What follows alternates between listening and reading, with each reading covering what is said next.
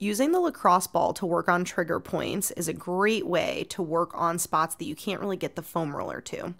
To work on your traps in your upper back, you're going to place the lacrosse ball under your shoulder blade. You're just going to put your body weight over the ball and start to breathe into it. If you need a deeper release, you can start to use that arm across your body. You'll move it from your hip up through your shoulder diagonally across your body to pinpoint the trigger point underneath the lacrosse ball.